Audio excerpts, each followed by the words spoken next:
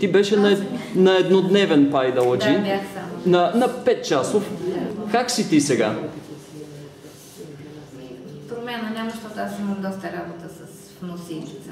Така, така. Не мога да практикувам. И затова дойдох пак и ще видим по-нататък. Добре, добре. Трябва, кой колкото себе си обича, трябва постепенно да отделя време. Добре. А, близката на Силвия да каже някои думи за себе Да, си. аз се казвам Маргарита. Така. Така също по, за първи път идвам и съм по така препоръките на Силвия, която ми а, даде много добри отзиви за тази практика тук. Аз също искам да опитам. Имам доста свои там проблеми и се надявам, че резултатът ще е положителен. Да. Стъпка по стъпка. Тя също е член на Ланкойна. Да, знам, знам, знам. Между другото, всеки идва тук с желание да реши собствените си проблеми, но няма да ги реши по начина по който желая, защото регенерацията на организма има свой собствен път. Така че първо няма да се случи това, което вие желаете най-много. Да ви е ясно. Така, следващия. Здравейте, аз също съм нова. Казвам се Станка Откъде си Станка? от Бургас. Добре. А, занимавам се с медицина и Как- съм стигнала... Какво, какво правиш? Спешна медицина работя Ти, и съм ти си стигнала... лекар или сестра?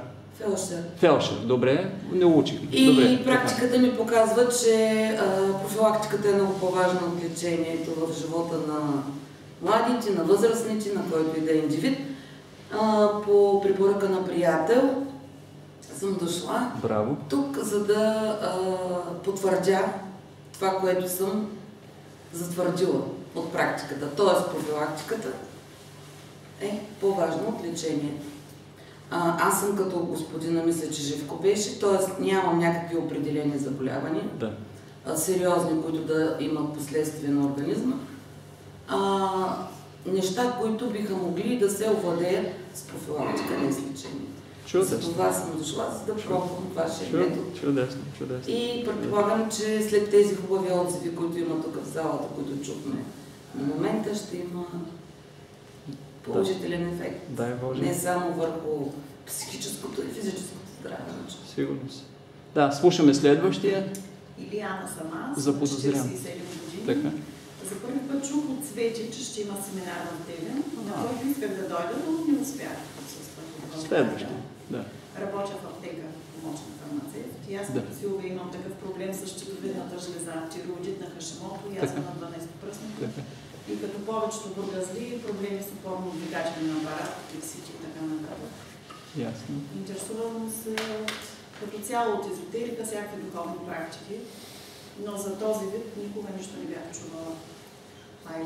Ладжи, с нощи. За първи път прочетох. Добре, следващия участник. Мария съм от Бургас на 59 години. Така. Открита съм така много към новостите. Интересни са. Дойдох чисто и просто. Добре. С какво се занимаваш ти, Мария? Ах, служител в топлофикация. Добре. Добре. Сега двама приятели имаме от